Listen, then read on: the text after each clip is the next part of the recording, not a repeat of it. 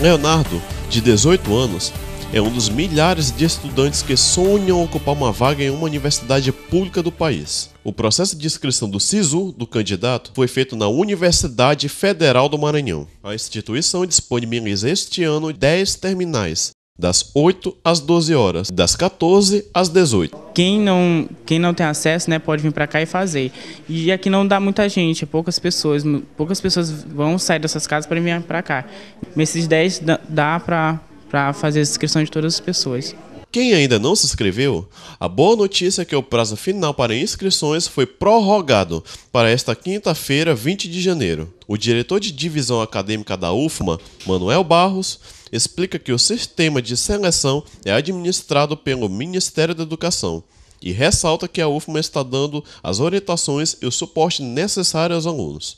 É, a UFMA, a UFMA disponibilizou um, um, um setor para que é, os candidatos possam fazer sua, sua inscrição, caso não tenham equipamento em casa, caso tenha velocidade baixa. No Maranhão, são oferecidas 1.918 vagas para 53 cursos de graduação, distribuídas em três campi: Chapadinha, Imperatriz e Campo Sede em São Luís.